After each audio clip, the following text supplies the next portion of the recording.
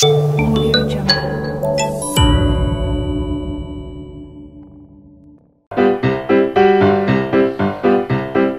antimony, arsenic, aluminum, selenium, and hydrogen and oxygen and nitrogen and rhenium, and nickel, neodymium, neptunium, germanium, and iron, americium, ruthenium, uranium, europium, zirconium, lutetium, vanadium, and lanthanum, and osmium, and astatine, and radium, and gold, protactinium, and indium, and gallium,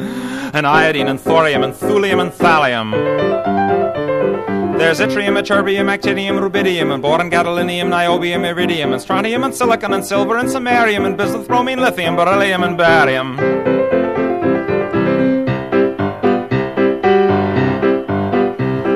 There's holmium and helium and hafnium and erbium and phosphorus and francium and fluorine and terbium and manganese and mercurium, molybdenum, magnesium, dysprosium and scandium and cerium and cesium and lead, praseodymium and platinum, plutonium, palladium, promethium, potassium, polonium and tantalum, technetium, titanium, tellurium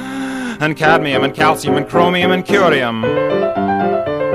There's sulfur, californium, and fermium, berkelium, and also mendelevium, einsteinium, nobelium, and argon, krypton, neon, radon, xenon, zinc, and rhodium, and chlorine, carbon, cobalt, copper, tungsten, tin, and sodium. These are the only ones of which the news has come to Harvard, and there may be many others, but they haven't been discovered.